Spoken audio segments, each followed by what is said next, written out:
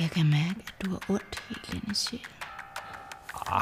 Jeg har været bange for at, at, at miste en... Øh... Bange for at miste hjernet. We're done.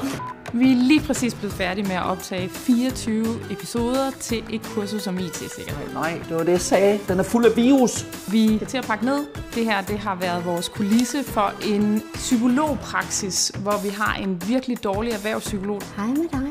der forsøger at hjælpe en IT-chef med hans psykiske problemer, fordi han har medarbejdere, der ikke kan finde ud af at passe på data og IT-sikkerheden. Mine kollegaer, de krypterer ikke deres data. Vi har spundet 24 episoder af forskellige små dilemmaer, der handler om IT-sikkerhed. I stedet for et password, så skal du finde på en passphrase. Vi glæder os til at vise det frem. Det er garanteret en virus. Alle sammen, I må ikke åbne den. Du kan signe op, hvis du vil vide noget mere om, hvornår vi lancerer Danmarks fedeste kursus om IT-sikkerhed. Det bliver fedt, mand. Bleibt.